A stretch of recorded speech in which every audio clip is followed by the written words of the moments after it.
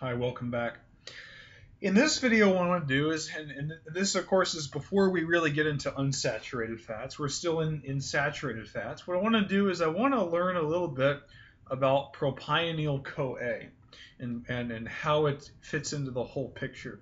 So what I've drawn here is I've drawn something called pentanoyl-CoA and pentanoyl-CoA is just a five-carbon fatty acid. So you could imagine this could have come, you know, let's say it came from a, a fatty acid that was 15 carbons.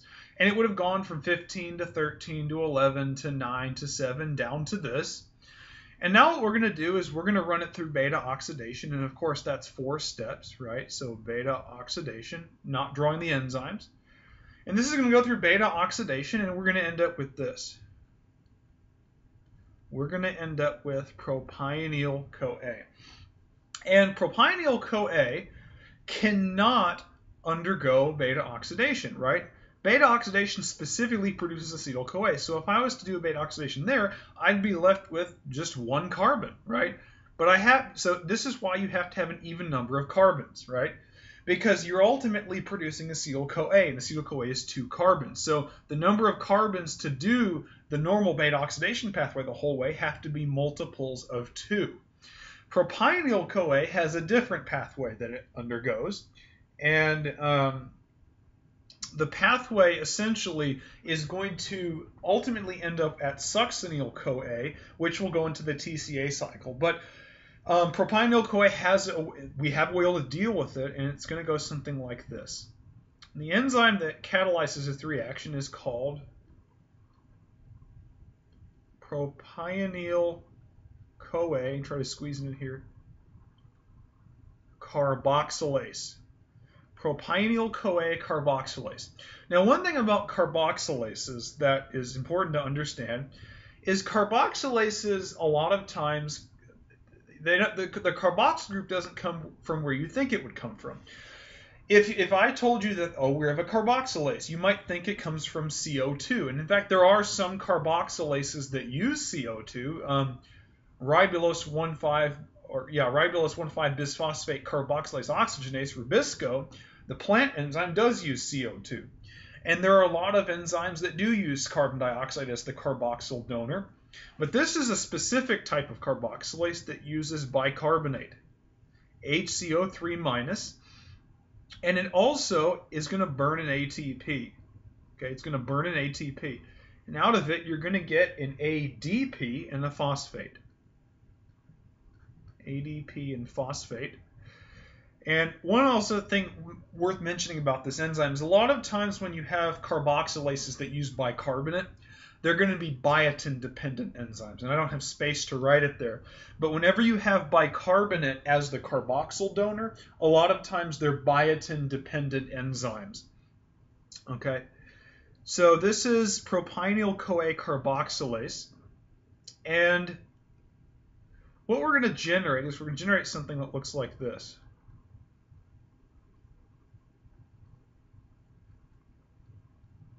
We're going to write this. And this molecule has a special name. And, the, and what I want you to see is that it is a D isomer of methyl methyl malonyl CoA. And there are two methyl malonyls. There is a D isomer and an L isomer. And recall that the D isomer and L isomer are essentially just sort of an offshoot of the RS stereochemistry. Um, they don't necessarily correspond to a specific R or S, but notice that we do have a chiral center. Here's our chiral center right there. And, um, you know, I could, I, could, I could draw it with a dash or a wedge. I'm not going to do it. I'm just going to just simply specify that this is the D isomer. This is the D isomer of methyl malonyl CoA, right? Well, there's an enzyme that's going to interconvert, and it's an equilibrium reaction. So it's not necessarily going to be one or the other. It just depends on what we load the body up with. It's just Le Chatelier's principle, right? And this enzyme is called methyl malonyl CoA epimerase. Epimerase.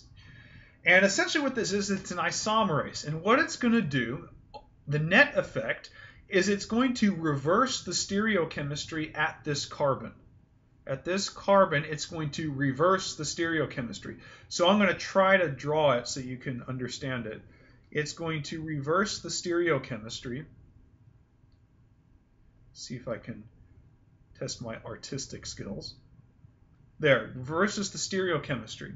So what do we have? D, in, in, this case, we had D-methyl CoA. Now we have what? We have L-methyl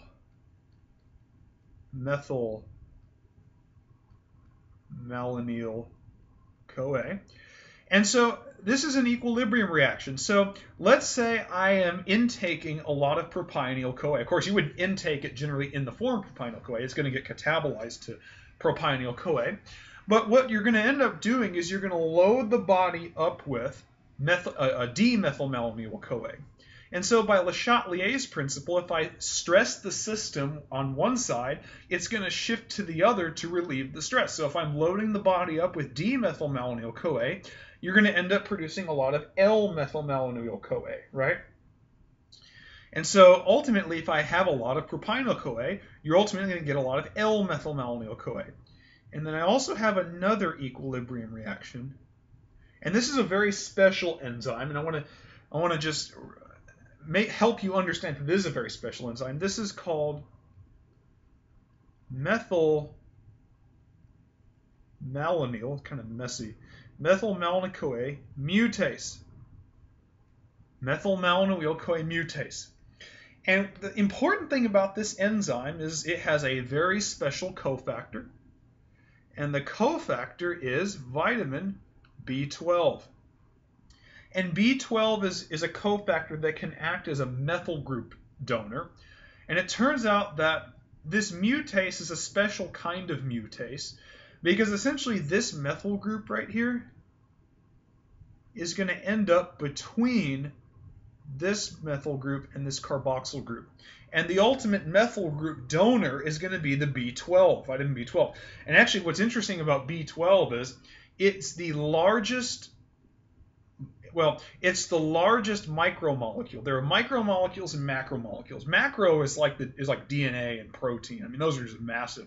But the as far as I know, the the, the largest you can think it like the largest small molecule the largest micromolecule is vitamin B12. If you were to Google it, like in Wikipedia, it is utterly massive. I, don't, I mean, it's the one structure I don't even have memorized. It's just an utterly huge structure, and it turns out that that, that is only used by two enzymes in the body, in the humans at least. It's used by this enzyme, methylmalonyl CoA mutase. It's also used by methionine synthase, um, which is in the um, the SAM cycle, which we'll do a lot later, much later, when we do amino acid catabolism. But this is one of the two enzymes that uses it. And essentially, that methyl group is going to end up between um, the carbon it's attached to and the carboxyl group. And so you can imagine what we're going to generate. And we're going to generate something like this. And I'll do it in a bold color. We are going to generate this. And you might recognize this molecule, and you'd be right. This is succinyl S-CoA. Succinyl CoA. And so that's going to go into the TCA cycle, and actually, I might just go ahead and quiz you. What is the name of the ens the initial enzyme in the TCA cycle that consumes it? And so I'll give you a minute. You can pause the video and see if you can figure it out. And it turns out that the enzyme is called succinyl CoA synthetase, right? It's a synthetase because it requires a nucleoside triphosphate, right? Or nucleotide triphosphate. Um, remember that succinyl CoA synthetase can also be referred to as succinate CoA ligase. Recall that synthetases are ligases that require a nucleotide triphosphate, right? But ultimately, notice we, we turn propionyl CoA into succinyl CoA. And it, it's a very short pathway, but it's necessary, right? If I have an odd numbered fatty acid, I'm going to generate propionyl CoA. And I need, a, I need a way to catabolize it, but this time it goes into the TCA cycle. And in fact, there are actually other pathways that aren't um, necessarily you know normal saturated fatty acids that produce pro- propionyl CoA. In fact, there is another pathway. Um, well, it, well, in general, there, there are a lot of pathways that generate propionyl CoA. In fact, one of them that generates it is a pathway called alpha oxidation. Alpha, let me write that. Another pathway that catabolizes it, or excuse me, that produces um, propionyl CoA is alpha oxidation.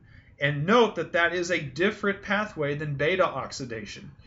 Beta oxidation oxidizes the beta carbon. So if I was to have my fatty acid here, right,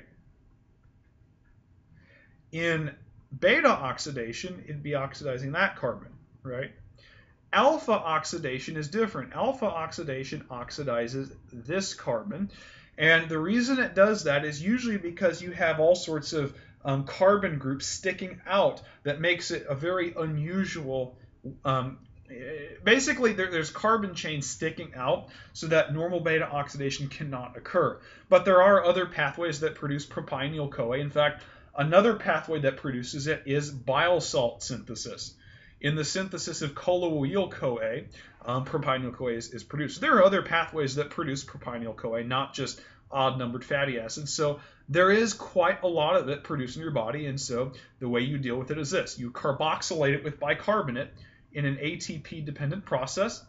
And then you epimerize it, you isomerize this, the stereogenic carbon, and then you mutate it. You you form succinyl CoA, and that gets dumped into the TCA cycle, and and then you end up producing energy. Well, if you recall, let's see, we're going to generate succinate, right? Succinate. Let's think about what succinate's going to do, right? All the way up to citrate, right? The beginning of the TCA cycle. Well, succinate's going to get consumed by succinate dehydrogenase. That's going to produce an FADH2, right? And then you have, uh, that generates fumarate. Then you have fumarate hydratase, right? And then that generates malate. And then you have malate dehydrogenase that generates an NADH. And then, of course, you have um, citrate synthase, right? So ultimately, when you put succinyl CoA into there, and actually, I should also mention that in succinyl coenzyme, coenzyme excuse me, succinyl coenzyme synthetase, you generate a G, GTP, right? So when you put this into the TCA cycle, you, you bypass the initial oxidations that generate two NADHs, but you end up generating a GTP, an FADH2, and an NADH. So in a sense, propionyl CoA actually um, generates more energy than a one round of beta oxidation, right? Because in one round of beta oxidation, we generated FADH2 and NADH. But in propionyl CoA entry into the into the um, TCA cycle, we end up with a GTP coming out of it. And actually, I guess you could actually consider it nulled because we had to burn an ATP, um, carboxylating it. But I get, well, I guess you could say it's about the same. It's about the same energy um, as one round of beta oxidation. But ultimately, um, we have a way to deal with odd number fatty acids.